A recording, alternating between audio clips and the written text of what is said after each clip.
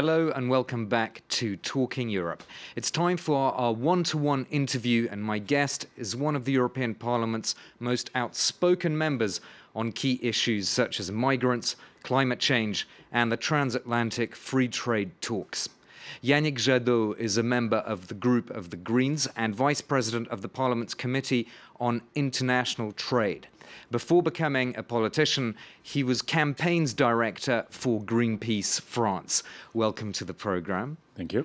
I'd like to start with the migrant crisis and the rise of the far right in Europe off the back of that migrant crisis, particularly in Austria, which is a big talking point at the moment.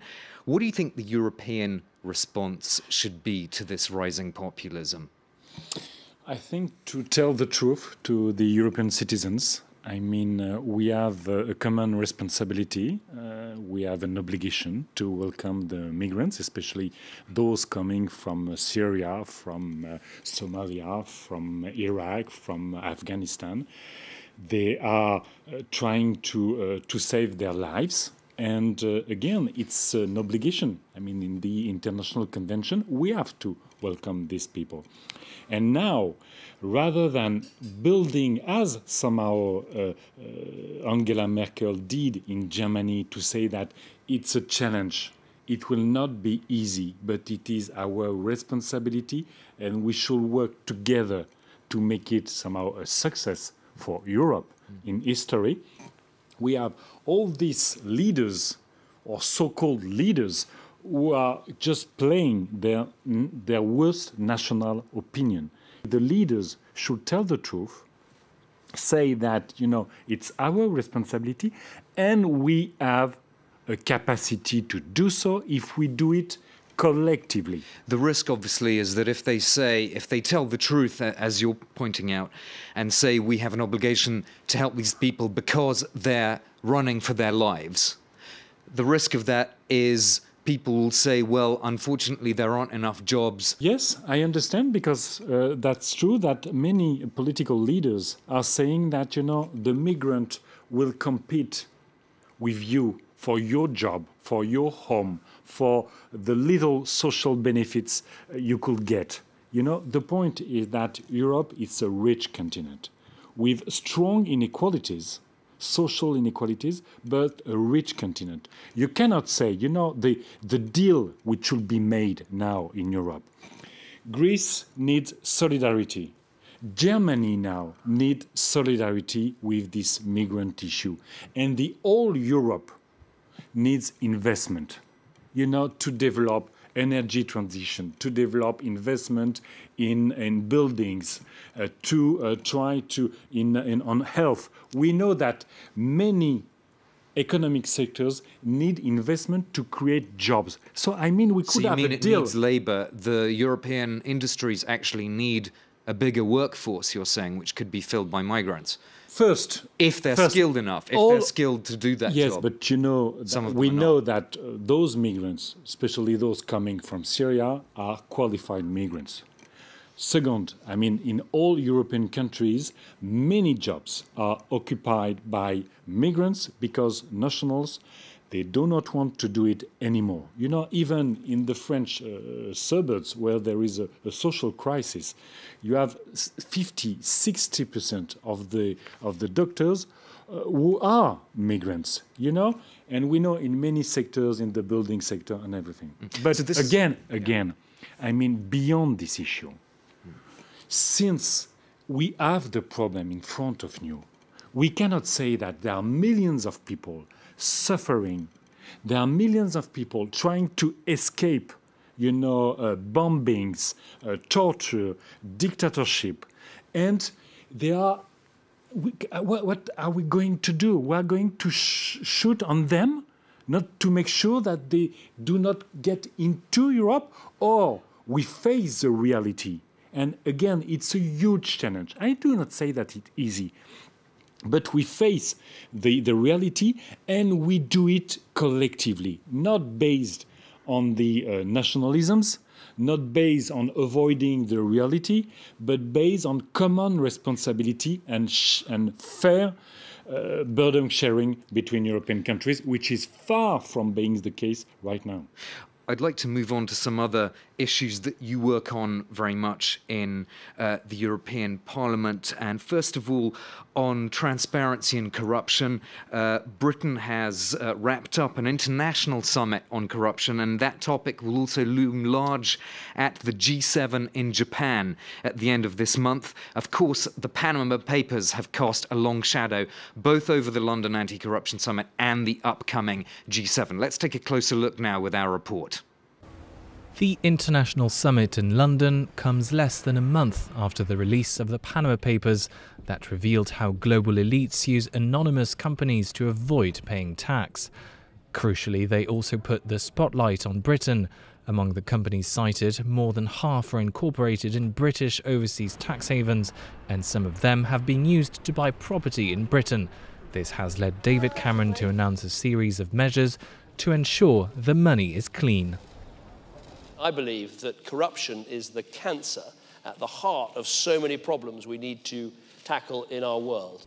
Under the proposed plan, foreign firms that own or seek to buy property in the UK would have to declare their assets in a public register and reveal the true identity of their owners. According to the government, these measures would make potentially suspicious investments more easily traceable by British tax authorities. But critics say it's the global culture of corruption that needs to be shifted. I think it's a really important step, but it needs to go further because you know this is like a game of whack-a-mole. If you kind of hit the problem somewhere, it can pop, pop up somewhere else. Uh, and we've seen again and again how places like the British Virgin Islands are used to launder money, uh, and we need to crack down on that through transparency of companies, of trusts. Some of the UK's territories and crown dependencies have agreed to share their own company ownership registers with tax authorities in 33 countries around the world but campaigners say they should go one step further and make their registers public. Leaders of the Cayman Islands and the British Virgin Islands say that while they are committed to more transparency, such measures would undermine their clients' right to privacy. So this registry of interests, does, does that really work, uh, Yannick Jadot, if we have certain countries that are not part of the system? We need a group of countries to move forward. When strong countries, powerful countries are doing so. The others are somehow at certain time obliged to follow the move. And you know now, I mean, we were talking about two or three trillions. Uh, uh, we know that the tax evasion in Europe is 1,000 billions euros every year. That means this money is missing in all public budget for education, health, and and you know just uh, social benefits. Is Europe providing enough leadership then, no, so that other countries no, fall, we know fall that. in line? We know that. I mean, uh, remember Switzerland. Uh, the US, you know, in a couple of weeks, decided what we call the FATCA to have uh, to to ban uh, bank secrecy from Switzerland, and with a strong threat that any uh, financial subsidiary from Swiss bank will not be allowed in the US. So they got the point. And EU is still because you know tax is a national competence in Europe. There is no European competence on tax. That means each time you have uh, the Netherlands, you have Austria, you have Luxembourg, UK has not been very good in the last 10 or 15 years uh, fighting uh, tax evasion and tax fraud. And so you have one country with a veto saying that the others cannot do anything. So, so you... this is ridiculous. So we need to move with groups of countries which are willing to uh, to, to act by example, and the others will follow. We, the statu quo is not just so acceptable. You, the next step would be a European tax authority with of powers, course. which obviously would be resisted by member states for. Of for course, the, but you know, reasons. UK. One of the last announcements uh, three weeks ago was to reduce by two the level of tax on companies, uh, trying to get the most attractive tax uh, uh, country for uh, the big companies. This is totally unacceptable. This competition by the worst is totally unacceptable because doing that way, not a single country can act seriously for general interest. So we need Europe to do that. Without Europe, it's lost. We need Europe to do that, but we need to make it a collective responsibility. The uh, TTIP negotiations, which you've uh, obviously talked about a lot. This is the transatlantic uh, free trade deal, which has not been completed yet. Uh, that is something that you've said is not being carried out in a transparent way, and particularly in terms of the next steps uh, of how it's going to be approved. Just walk us through those steps now. We have two big agreements in front of us. The, as you say, the TTIP negotiation, they are a bit stuck because if you listen to the, uh, the, the, main candidate in the US election, they have, they have now kind of uh, anti-free trade uh, speeches. So, I mean, not even Trump is, of course, the most crazy guy, but even Clinton. I mean, uh, so now, I mean, there is no political space for negotiating the TTIP agreement. But we have the agreement, the free trade agreement with Canada, which is coming before the Council, the European Council, and the European Parliament for ratification. It's, you know, the the the the the, the, the, small TTIP. It has exactly the same type of risk for our health, for our environment, for our right to regulate, for our democracy. For example, from this investor to state dispute settlement, privatization of the law system. So, I mean, with all this, I mean, there is a feeling in the all European citizens that this deal is made not only without us, without them, but against the citizens. And, and national parliaments can't reject this Canadian treaty. Of course, it can. I mean, this is with the Lisbon Treaty now.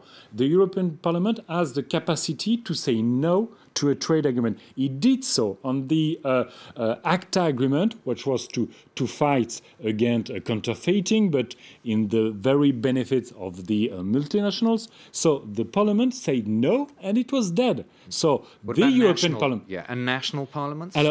Because these agreements are very huge, they're talking about, you know, our norms, standards, health, public services, everything. And it's talking about investment and economic governance. So we, there is a mixed competence, what we say. It's a European competence and it's a national competence. So the ratification process will have to include national parliaments. But the tricky thing with our government is that they say that there will be, for example, in Canada, if it is approved by the European Parliament, there will be a provisional application before the national parliaments are, are ratifying this agreement. Right. So it's just crazy how you can say to European citizens that their uh, parliament have not yet say what they think about a trade agreement and that it is already applied. That makes people crazy a, a major topic that you've uh, called on people to keep an eye on is the follow up from the COP21 in Paris a few months ago. Uh, this is something that isn't really in the public eye so much, or at least not in the media. Uh, do you sense that uh, the pledges made there, that the commitments or the, the sort of energy that was there at the Paris summit, that it still exists, or that there's been some kind of diluting of the ambitions that were uh, that were put forward there? Uh, I think the second option is the most uh, accurate uh, in the sense that, you know, in the Paris Agreement, we managed to have an agreement on an objective not to uh, go beyond 1.5 degree by the end of the year or uh, under 2 anyway. So that means that you have to disinvest from fossil fuels to efficiency and renewables. And what we see now is most of the countries are just doing uh, the, the, the, energy policy as business as usual. I mean, there is no strong impetus to go for an energy transition, uh, a carbon free economy. We have cities, regions, citizens which are already acting in favor of fighting climate change. They are already engaging strong changes on energy, mobility, agriculture, and many things. Uh, and you have governments which are stuck to the old world with big companies, with oil, with gas, with nuclear, with coal. It's so, totally crazy. What's the solution? Where's the impetus for change going to come from? Now it's coming from the business community. I mean, there is every year more private investment in renewables than the year before. In, in technologies to make in, them more affordable for example? It's already affordable. You know, if you look at the price for photovoltaic, you know, the price has been divided by five over the last 10 years.